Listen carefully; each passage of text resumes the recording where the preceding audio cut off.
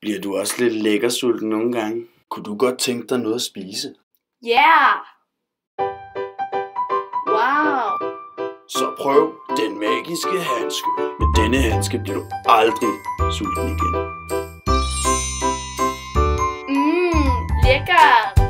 Med den her handske kan du få alt det slik, du nogensinde kunne ønske dig. Du kan få Smarties, du kan få alt dit yndlingsslik, og selv en cheeseburger.